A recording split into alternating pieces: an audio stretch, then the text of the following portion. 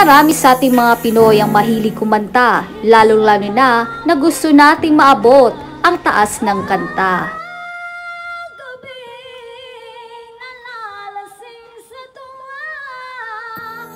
Sa edad na apat na taon ay nadiskubre ng aking lolo ang pagkahilig ko sa pagkanta.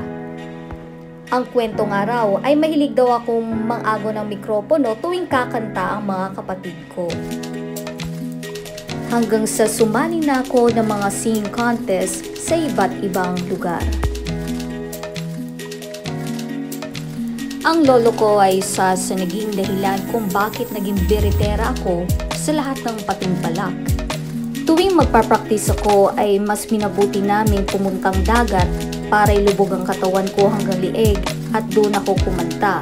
Ang lolo ko ay isa sa pinaka-impluensyang taong nakilala ko, kundi dahil siya, hindi tataas ang boses ko. At ngayon, ituturo ko na sa inyo kung paano lalong gumanda ang boses at maiwasan ang pagpiyok. Unang-una, ang uminom ng luya. Ayon sa pananaliksik, ang luya ay nagtataglay ng substance na kung tawagin ay gingerol na may taglay na powerful medical properties. Kilala itong natural na halamang gamot at nakakapagpagaling ng may trangkaso.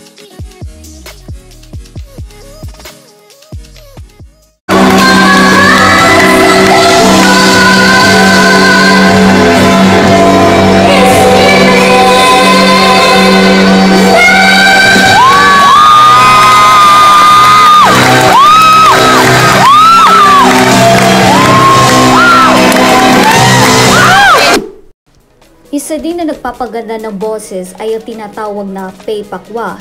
Ito ay nanggaling mismo sa China. Meron itong candy at syrup. Ang benefits ng Pei Pakwa ay ito ay nakagpapagaling sa mga nangangating lalabunan at sa ubo. Ano nga ba yung mga dapat inumin or kainin tuwing sasabak ka ng singing contest? Kayo ng amateur singing contest, ay huwag niyong kalimutan na magdala ng luya. So, bata pa lang ako guys, nagdadala na ako ng luya at hindi pwede yon na hindi ka magdala. Kasi, doon nagpapa-relax sa boses mo yung luya na yon.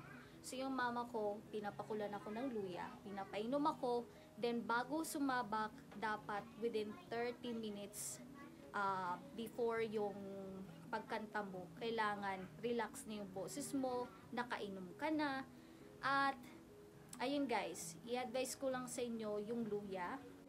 At may isa pa doon eh, yung nakita ko sa isang ka-singer ko. Umiinom siya ng paypakwa. May liquid siya at may candy siya. So, yung binili ko mismo, na-try ko na rin yung ano eh, yung iniinom na paypakwa.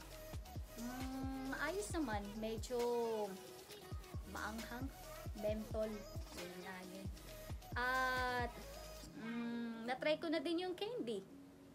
Kaso, mas bet ko talaga yung luya. Yun, pag bumibirit na ako, grabe.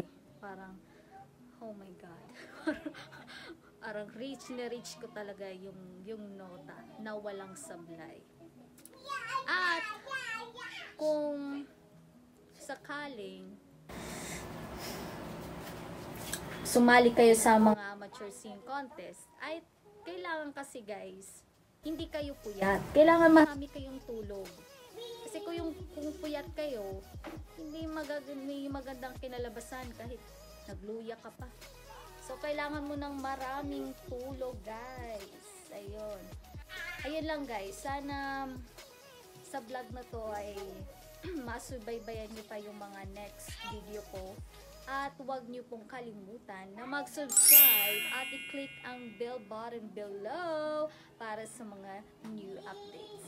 At dito nyo lang mapapanood sa Christine Vlog. Bye guys!